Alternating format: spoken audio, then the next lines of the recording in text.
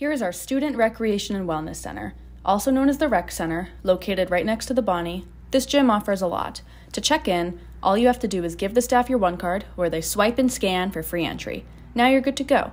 This is the main floor, where we have all our machines with one squat rack and one bench. There is also one rack of dumbbells, as well as three different basketball courts. Up the stairs is where you'll find our cardio level. We have three group fitness studios, as well as two levels of boxing. There is also an incline track, along with your familiar treadmills and Stairmasters. Now heading downstairs, where we have four deadlifting platforms, all our free weights, multiple benches, and six squat racks.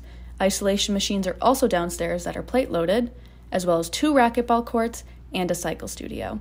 And if you really want to utilize our resources, download the Radford Rec app where we post hours of operation and signups for classes.